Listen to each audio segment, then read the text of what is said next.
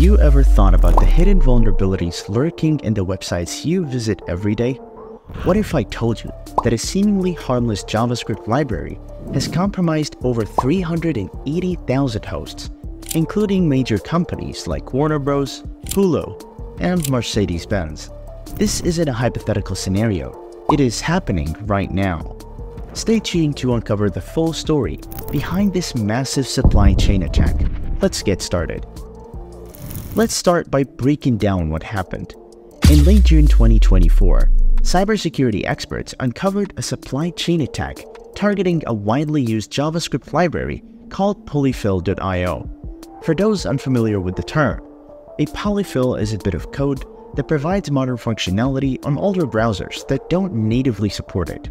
It's like a universal translator for web browsers, ensuring the websites work smoothly across different platforms and versions. Polyfill.io has been a trusted tool in the web development community for years. Countless developers integrated it into their projects, believing it to be a reliable solution for browser compatibility issues. In February 2024, the polyfill.io domain and its associated GitHub repository were sold to a Chinese company named Funnull. At first glance, this seemed like a routine business transaction. However, cybersecurity experts now believe this was the moment when the fox was let into the henhouse. Fast forward to late June 2024, and the cybersecurity firm Sansec dropped a bombshell. They revealed that the code hosted on the polyfill domain had been subtly but significantly altered. The changes were insidious. The modified code began redirecting users to adult-themed and gambling websites. Even more concerning was that the redirections were timed to occur only at certain hours of the day and only affected visitors who met specific criteria. This level of sophistication in the attack is truly alarming. The malicious actors behind this weren't just casting a wide net, but using precision targeting to evade detection. By activating their malicious code only under certain conditions, they managed to fly under the radar for an extended period. According to recent findings from Censys, an attack surface management firm, over 380,000 hosts are currently embedding a polyfill script that links to the compromised domain. But it gets even more interesting when we look at where these affected hosts are located. Approximately 237,000 of them are situated within the Hetzner network, primarily in Germany. For those unfamiliar, Hetzner is a popular web hosting service used by many website developers. This concentration of affected hosts in one network underscores how a single point of compromise can have cascading effects across the internet. The scope of this attack becomes even more alarming when we look at some of the high profile victims. Major companies and platforms that millions of people use every day have been caught in this net. Names like Warner Bros., Hulu, Mercedes Benz, and Pearson have all been identified as having domains that reference the malicious endpoint. The next time you're streaming your favorite show on Hulu or browsing the latest Mercedes models, you could potentially be exposing yourself to this threat. But it's not just private companies that are affected. Even government websites haven't been spared. Censys observed 182 affected hosts displaying a .gov domain.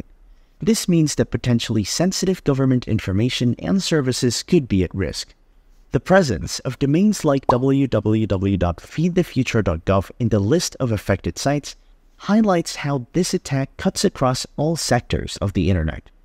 The attackers behind this were incredibly clever in their approach. They didn't just flip a switch and start redirecting all traffic to malicious sites. Instead, they employed sophisticated evasion techniques that made the malware extremely difficult to detect. For instance, the malicious code was designed to only activate on specific mobile devices and at certain times of the day. It would also delay its execution if it detected a web analytics service, presumably to avoid showing up any usage statistics. Perhaps most deviously, it wouldn't activate if it detected an admin user. This meant that even if website owners were actively looking for issues, they might not see anything wrong.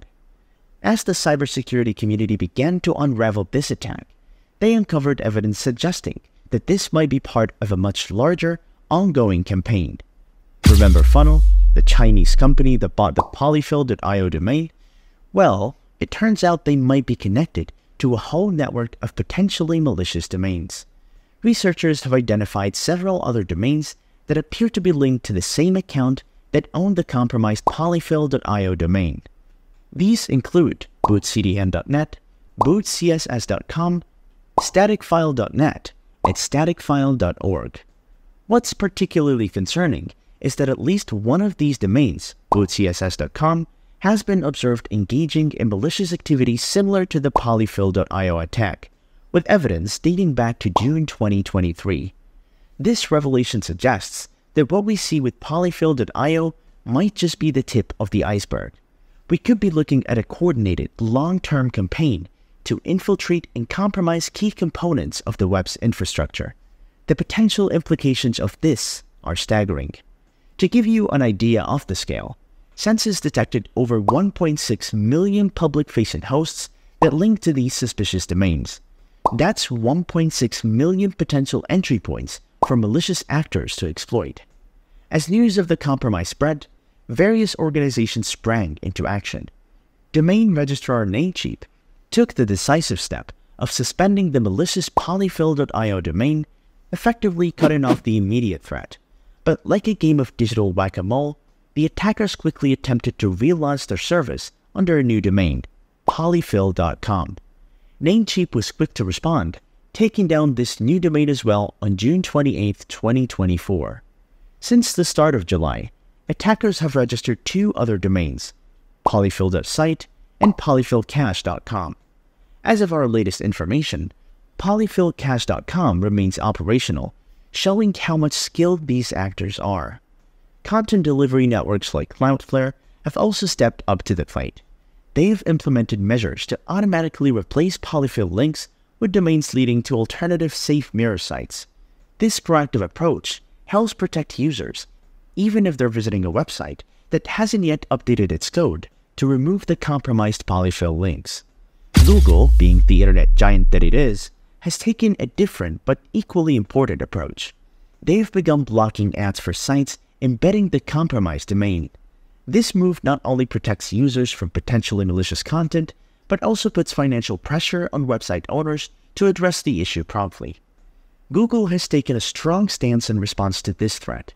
In a statement shared with the Hacker News, the tech giant emphasized, protecting our users is our top priority. We detected a security issue recently that may affect websites using certain third-party libraries. They have been proactively sharing information with potentially impacted advertisers on how to quickly mitigate the issue. But here's where things get really interesting and concerning. As cybersecurity researchers dug deeper into this attack, they uncovered evidence suggesting that this might be just one part of a much larger, more insidious campaign. The polyfill.io incident isn't an isolated event. It's part of a growing trend of supply chain attacks targeting the open source community. This revelation adds a whole new layer of complexity and concern to our digital ecosystem. Let's put this in perspective. Just recently in June, the cybersecurity community was rocked by two other significant events. First, there was a credible takeover attempt targeting the OpenJS Foundation. The OpenJS Foundation is a cornerstone of the JavaScript community, supporting critical projects that millions of developers rely on daily. In another shocking discovery, malicious code was found embedded in the xzutils library. For those unfamiliar with it, xzutils is a compression utility used in many Linux distributions and open source projects. What makes this attack particularly concerning is the level of sophistication involved. As Kaspersky researchers Anderson Leite and Sergey Belov pointed out, it is notable that the group or attacker behind the XZ backdoor has extensive knowledge of the internals of open source projects such as SSH and libc, as well as expertise in code obfuscation used to start the infection. These incidents, along with the polyfill.io attack, paint a disturbing picture of the current state of cybersecurity. They highlight how malicious actors are increasingly targeting the very foundations of our digital infrastructure. By compromising widely used products and services, they can inflict damage on all downstream customers at once. It's a strategy that maximizes impact while minimizing effort. Pedro Fortuna, CTO and co-founder of Jscrambler, summed up the situation perfectly in a statement to the Hacker News. He said, As businesses increasingly rely on the client-side JavaScript development, JavaScript's weaknesses and client-side blind spots will continue to be exploited. For businesses, the implications are even more severe.